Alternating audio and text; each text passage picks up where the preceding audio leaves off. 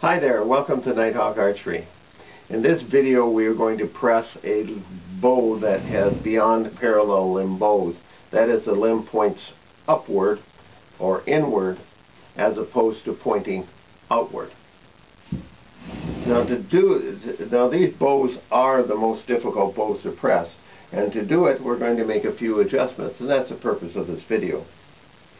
Now, the, on the Nighthawk bow press frame, there's this black line, and that rep represents the center of the frame. The distance between these two edges is about equal at that point. Now, on here, we have these pressure points. We've moved them about an inch below that black line. Then we've also adjusted them in so that they are the width, uh, uh, they, they match the width of the limbs You'll notice that the pressure points have a rubber pad on them. This rubber pad has a gripping ability and to grip the uh, limb. And you'll also notice that the bottom of the clamp also has a rubber pad and it is made out of the same type of material. Now to press the bow, I just lay the bow on a flat surface and I mount the frame onto the limb of the bow.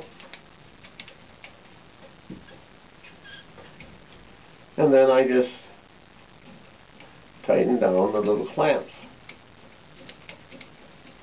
Now the reason I lay it on a flat surface like this is because the flat surface has a tendency to center the frame on the limb of the bow, which makes uh, the whole process of pressing a lot easier. And your flat surface could be virtually anything. It could be the floor of a room. It could be um, a blanket laid on the ground. It doesn't really make any difference. We do the same with the second side.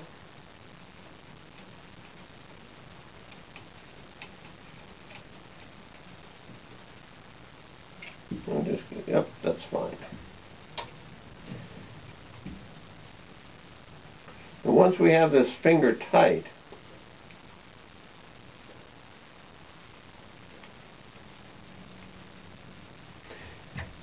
it hangs onto the limbs pretty secure, but it not it allows us to hold onto the limb while we do the fine adjusting to get the limb the frame centered on the limb of the bow and there we go. We're going to do the same here. Adjust it up a little bit. Centered.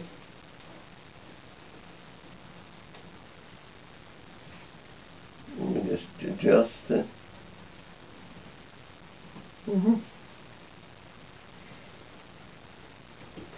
And now I'm going to just tighten the strap. Give myself a little more travel on the turnbuckle. And I'm going to tighten the strap. Now with the frame centered on the limb, I'm going to tighten the clamp down just a little tighter using an Allen wrench. This way I'm sure that I have the clamps tight and also that they are tightened evenly on the frame. But you want them tightened evenly. And I can just easily look down and there's a little thread that shows uh, on the bolt so I can measure to make sure that they're equal just by eye. And I'm doing the same with the other side.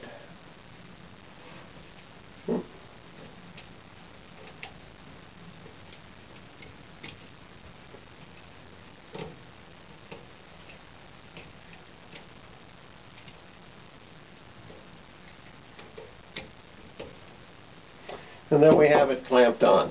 Now I want you to notice where we're pressing. We're not pressing at the tip of the limb. We're pressing at the base of this wide part of the limb where the axle hole is. And the reason we're doing that is because this part of the limb doesn't flex and we want these frames to form a V going outward. You'll also notice here the amount of clearance we have between the frame and the limb.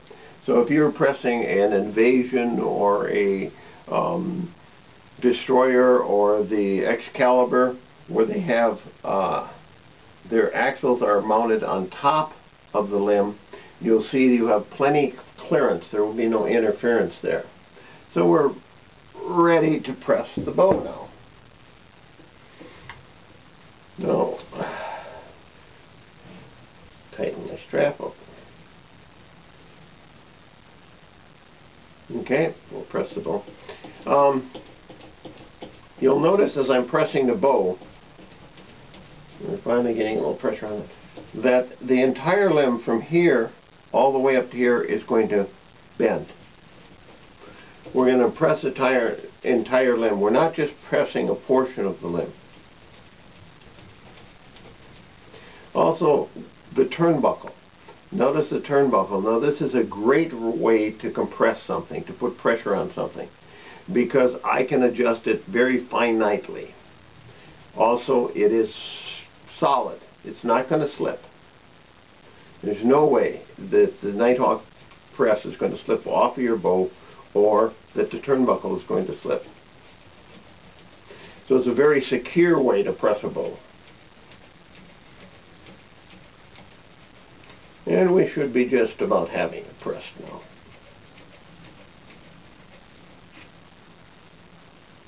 A little bit more. Okay, got it pressed. Now what I'm going to do is I'm going to remove the bowstring. So I can demonstrate that I can remove the axle while it is still while the press is on the bow. And that will demonstrate to you that when we press, we press equally. And we press down equally down the limb of the bow, the limbs of the bow. See, we've removed the axle, and now I'm going to put the axle back in. There we go. See, since we press down the center of the limbs, we press the limbs equally, and therefore the axle hole doesn't get out of alignment. So let me put the string back on.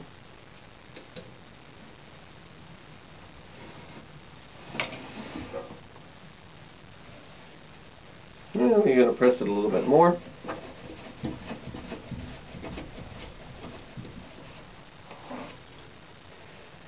Make the string easier to put on. Now we've got the string on. And we can check the cables to make sure they're all in place, everything's attached, nothing slipped out, and I can release the pressure on the limb. There we go. Anyway, I think we've demonstrated that the Nighthawk bow press will press uh, the beyond parallel bows, and it does it relatively easily. So, hey, I thank you very much for your time, and hey, may every arrow be an X.